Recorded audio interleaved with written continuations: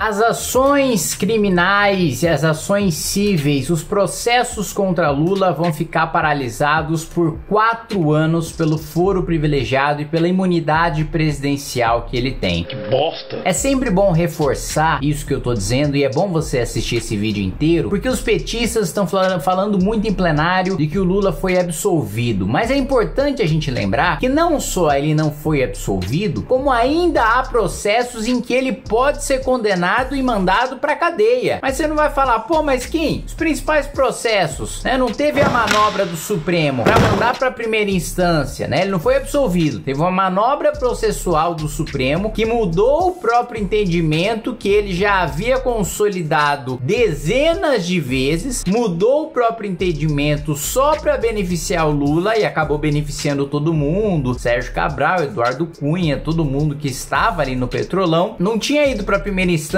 e não tinha prescrito porque ele é idoso. Então, portanto, a justiça perdeu o direito de puni-lo porque passou-se o prazo, né, em que o crime está perdoado. Sim, porém há processos que não. E nós vamos falar sobre isso nesse vídeo logo depois que você se inscrever no canal, logo depois que você clicar no sininho para receber as notificações, logo depois que você se inscrever no Instagram, né? No Instagram, nós estamos quase batendo a meta de um milhão. Logo depois que você adquirir também o seu Gado Combate. O Gado Combate tá aí, o link na descrição do vídeo para vocês que quiserem adquirir o nosso joguinho. Acho que eu tô sem cartas aqui para mostrar para vocês, mas já mostrei em outros vídeos e o jogo tá maravilhoso. Além disso, me seguir no meu novo canal no YouTube, o Kata Games. Me sigam no Kata Games e me sigam na Twitch também. A nossa Twitch tá crescendo. Começamos com lives de 10 pessoas, depois 20, 50, 100, 200. Estamos chegando em live de 500 pessoas. E isso é muito bom. Eu agradeço muito vocês por me acompanhar também, não só no trabalho político, mas também no pouco tempo que eu tenho para jogar com vocês, né? E eu ando jogando muito Call of Duty é, DMZ, né? Que eu tô meio viciado nisso aí. Mas vamos lá, né? Aproveitando o tempo que eu estaria fazendo faculdade, né? Que no, minha faculdade vai começar em março, eu estou aproveitando para jogar COD e também para ler livros, né? Que não são sobre direito. Tô lendo um livro de economia agora do Jean Tirole, acho que é um, como se pronuncia, que é um prêmio Nobel de Economia que chama-se Economia do Bem Comum. Foi uma recomendação que o Marcos Lisboa me deu, eu tô gostando bastante, tá mudando bastante a minha visão em relação ao liberalismo, né? Bom, vamos falar então de todos os processos envolvendo Lula. Primeiro, Triplex do Guarujá. Ele foi condenado a 8 anos e 10 meses de cadeia. Foi mandado para primeira instância, prescreveu porque ele é idoso. Sítio em Atibaia, 17 anos de cadeia e um mês. Prescreveu porque foi mandado para primeira instância e ele é idoso. Terreno do Instituto Lula, que não foi explicado ainda de onde é que veio essa doação de terreno para o Instituto Lula. Tá suspenso, mas quando o Lula perdeu o foro privilegiado, volta a ser julgado. Quero ver meu advogado! Doações para o Instituto Lula. Lembra das doações das empreiteiras absolutamente suspeitas, né? As empreiteiras que fizeram parte do cartel, que se beneficiou de 3% de propina durante os governos petistas, fazem uma doação generosa para o Instituto Lula, falando sobre palestras que ele nunca deu, né? Pois é, esse processo ainda pode fazer com que Lula volte para cadeia, mas fica suspenso porque, né? Além do foro privilegiado, o presidente da República tem uma coisa chamada imunidade presidencial. Ele só responde por atos cometidos no exercício do seu mandato, no exercício do seu cargo. Portanto, se um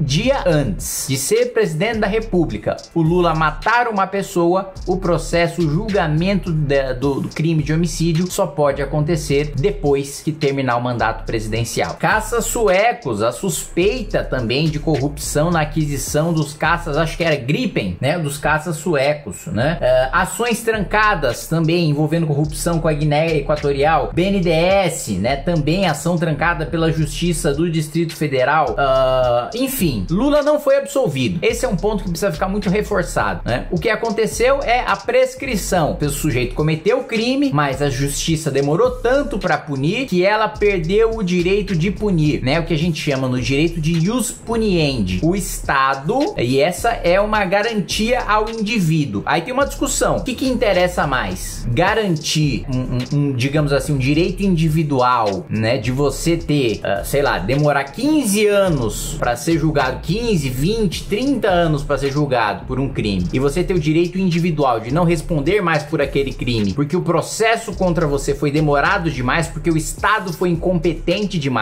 ou seja, você ter o direito individual de, entre aspas, ser perdoado por aquele crime e o interesse da sociedade de ver aquele criminoso ser punido. Essa é uma discussão séria e, e, e assim, muito acalorada que nós temos no direito. E ambos têm posições legítimas, mas fato é que Lula só teve seus crimes prescritos não por causa dessa discussão, não por causa da morosidade da justiça. Não, a justiça julgou o Lula dentro do tempo que os outros julgados da Lava Jato estavam sendo julgados, com a celeridade que a sociedade civil cobrou da justiça. Porque a justiça brasileira é lenta e a justiça brasileira tem corrupção tanto quanto o legislativo o executivo. O Ministério Público brasileiro tem corrupção tanto quanto o legislativo executivo. Vamos lembrar do promotor bolsonarista que acusou né, o MBL de desviar 200 milhões de reais. Olha que absurdo. Você tem que se defender de uma acusação de desvio de dinheiro público, né, de desvio de dinheiro privado, de lavar 200 milhões de reais e esse processo tramitar e sair helicóptero da Globo mostrando busca e apreensão no seu escritório. Imagina a quantidade de pessoas que tiveram primeiro contato com o MBL vendo a notícia no Jornal Nacional de que teve gente presa, né? Doador que foi absolvido porque não tinha crime nenhum. E a primeiro contato que o sujeito teve é busca e apreensão, é prisão, é enfim. Ah, esse movimento tem alguma coisa a ver com corrupção, né? Um dano de imagem que um promotor desses pode causar é imenso, é gigantesco. No caso do Lula, teve uma pressão para o Ministério Público agir rapidamente, para justiça justiça agir rapidamente e fazer a lei ser cumprida. E foi isso que aconteceu. Agora, o Supremo Tribunal Federal, querendo né, se contrapor ao Bolsonaro, se contrapor à direita, à ascensão da direita, quis soltar o Lula para ele disputar as eleições com uma manobra, agora lavando as mãos. Nenhum ministro do Supremo quis absolver o Lula porque ninguém queria ficar com carimbo de que absolveu um criminoso, de que viu as provas e fingiu que as provas não existem. Não, eles votaram pela mudança de competência territorial, ou seja, não é mais julgado em Curitiba, é julgado no Distrito Federal. Só que como começa o processo tudo de novo, sem força-tarefa, porque o Augusto Aras de Bolsonaro acabou com o modelo de força-tarefa, ou seja, sem o Ministério Público ter financiamento, sem ter integração com a polícia, sem ter é, um grupo de promotores, mas não, você joga na mão de um só. Enfim, o, o Lula não foi condenado a tempo, né? Do, do, do, crime não prescrever, mas não foi absolvido. E pode ainda ser preso depois de sair da presidência da República, caso, caso esses processos avancem.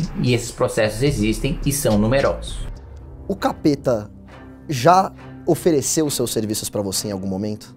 o sentimento de culpa de estar tá gerando um desgaste, porque quem escolheu disputar a eleição, quem escolheu seguir a carreira política fui eu, né? Não foi minha família. Você tem orgulho de ser brasileiro, Kim? Mesmo com esses defeitos? Você acha que você merecia mais reconhecimento pelo seu trabalho?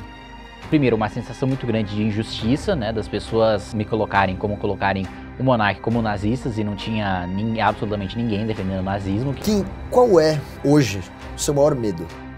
Eu acho que era muito jovem para é, perder o pai. para perder o pai.